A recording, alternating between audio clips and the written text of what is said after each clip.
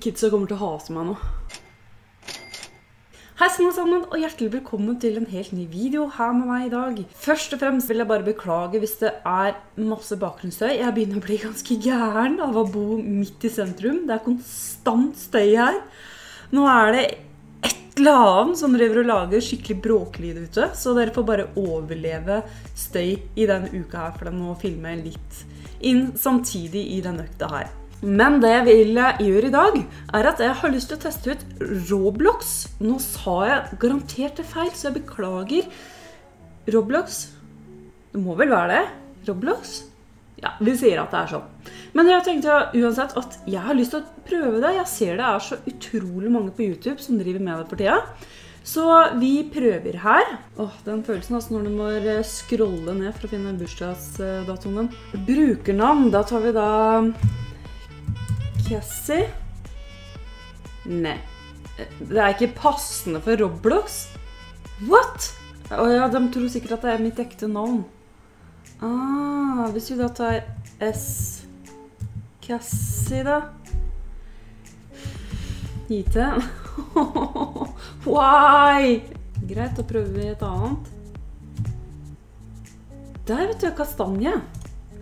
Det er et brukernavn jeg brukte ofte før. All right, now what? Sånn seriøst, now what? Jeg vet ikke hva jeg skal gjøre her. Ok, Beeswarm høres bra ut. Hatch bee, collect pollen, make honey! Ja, det hører Jeg veit ikke hva jeg driver med her nå. Å, gud. Kidsa kommer til å hate meg nå. Ok, vi må installere noen greier her. Roblox sucks. Vanskelig å snakke. Roblox is successful Vet du hva, jeg gir opp. Mm, what? Ah! Herregud, jeg må lese det som står her. Etter installasjon, klikk på play. Åpne Roblox. Ok. Hva er det her? Skal vi se Welcome to Beach Beachworm Simulator. In this game we collect pollen from flowers and make honey. Ok.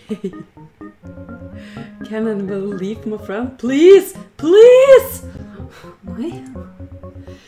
But you don't do it alone. You are leader of your own personal swarm of bees. To hatch bees, walk up to an unclaimed honeycomb and press claim hive. Open the egg menu, then click and drag an egg. Det for noe? Uh, 36 sider, det der gidder jeg ikke. Altså. Uh, bruker jeg tastatur Wow! Hva er det her for noe? Hvordan får jeg liksom sett opp pluss 3? Hva betyr det her? What am I doing? Ok, Jeg skjønner ikke hva jeg driver med her nå. Jeg gjør det tydeligvis ikke bra. Men hvordan får jeg sett andre sider? her? Ah! Er sikker på at nå bare sitter her og bare Å, herregud. De gamle skal begynne med sånne kule ting som jeg driver med. ass. Men å, herregud, det her var bare ekkelt. Jeg skjønner ingenting. Hvor finner jeg det her egga? Yes, nå begynner jeg å få mye pollen, vet du. Men jeg vet ikke helt hva jeg skal gjøre med den pollen her, da. Okay, men hva gjør jeg nå med 150 pollen? Ah, den viser meg hvor jeg skal. Nice! Thank you, game! Ok, jeg har fått en basic B. Yes, jeg har fått 150 pollen. Der går det som det suser. Men jeg skjønner ikke helt hvordan jeg får flere sånne bier og sånn. De andre her har jo masse bier. Hvorfor har jeg bare én? Jeg skjønner ikke engang hvordan jeg fikk den første bia mi. Noen av de gutta her har jo sånn 2000 Ja, nesten 2500 med sånn derre pollen. Og jeg har bare 150. Jeg skjønner jo ingenting. Hvis jeg prøver å bare slå den her. Å, så lei seg ut. Oi. Hi, I'm Black Bear. You look promising new honeymaker. I happen to be a honey connoisseur. That means I know a lot about honey. And if you're willing to go through my training, you will be making tons of honey in no time. First off, collect 100 pollen from the sunflower field. Det er sikkert borti her, tipper jeg. Der er det noen sånne solsikker. Pow, pow, pow, pow, pow. Nice job! Here's a reward. Come talk to me again when you're ready for another quest. Ja, har egentlig det med en gang. Pollen from each field produces slightly different honey. The most people can't tell the difference, but I can. That's why I love it here. There's such a variety of flower patches. Each field is different sunflowers, mushrooms, clovers. But today I got a hankering for dandelion flavored honey. Why don't you collect some pollen from the Ok, 250. Det er jo mer enn jeg får til. You gotta be kidding me. Ooh. I can climb. Hva med åtte sånne egg? Jeg har jo ingen, for jeg vet ikke hvordan jeg får tak i det. Hi there, I'm Brown Bear. Ok.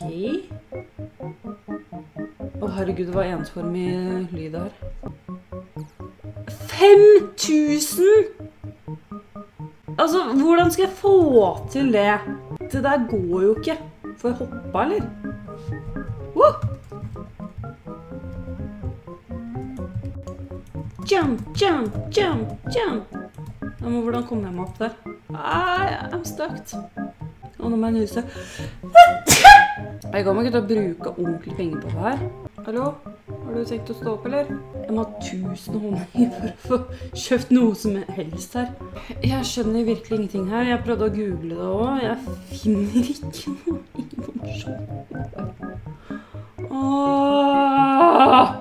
Nå begynner jeg å få holdt på det her, vet du. Å herregud, 750. Jeg kommer til å sitte her for alltid og sitte og trykke. Trykk som en gærning. Hvor er den der bia mi, da? Hva er den egentlig driver med? Det hadde vært litt fint om du hadde kommet og hjulpet meg, liksom. My bee, my bee, først my bee. Yeah, vi er fulle! Woohoo!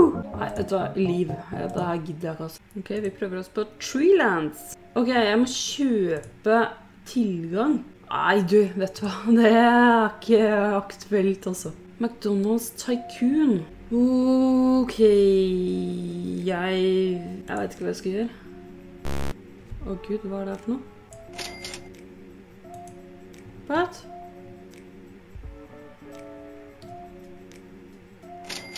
Jeg skjønner ikke hva som skjer. Hva i alle dager er det som skjer? Kevin!